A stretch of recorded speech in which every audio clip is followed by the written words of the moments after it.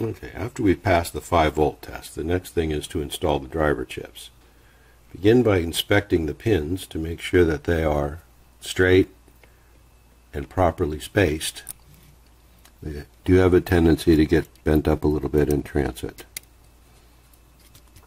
Now when they're all inserted, flip the board over and inspect the pins to make sure that there's one pin coming out of each hole and none of the parts, none of the legs are bent over.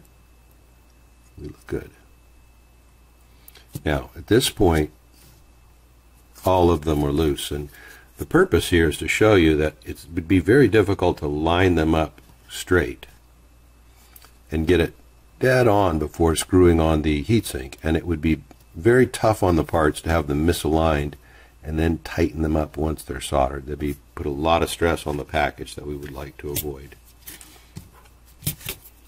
First thing, I'm going to put a little bit of heatsink compound on the back of each part.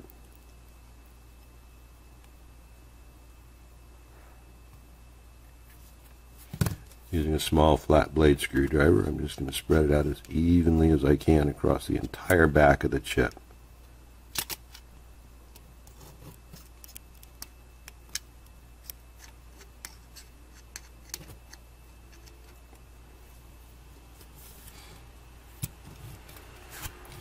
Now, if you look at the front of the ICs, a little difficult to see since they're filled with goop, but there's one round hole and one slightly elongated hole. I'm going to make sure to put the screws in first in the round holes.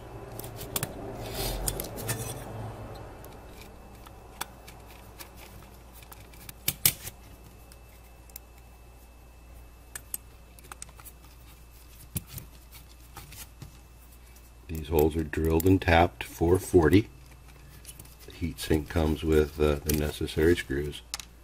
You will, however, need to drill it and tap it yourself.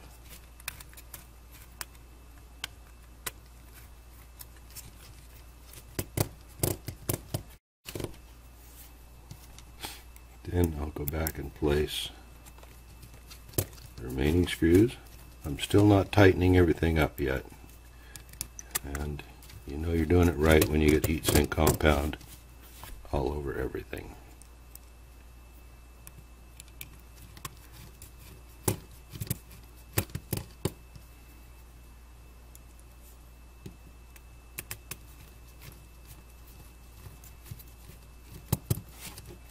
Now I'm going to come along and just snug the screws up. They don't need to be too tight. You're just creating a thermal bond between the driver chip and the heatsink.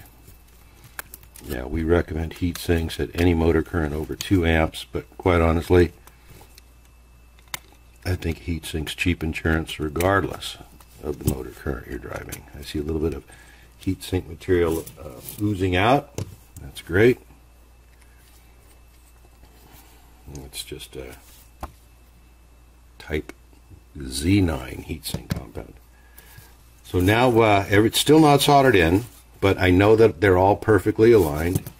Shooting down the side here, I'll tip it standing up, but also from the bottom. I'm not. I want to trim these pins. I want to use every bit of uh, real estate I can for heat sink. So I'm going to have them about a, I don't know, 32nd of an inch or so.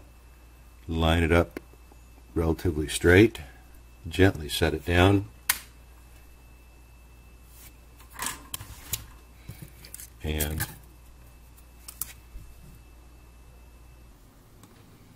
These outside four pins take a fair amount of heat because there's a large uh, circuit board conductors on both sides.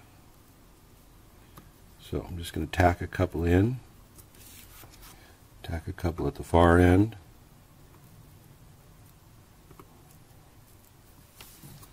Stop and make sure we're still nice and straight. Yep, I'm pleased with that. And then continue uh, soldering the remainder of the pins.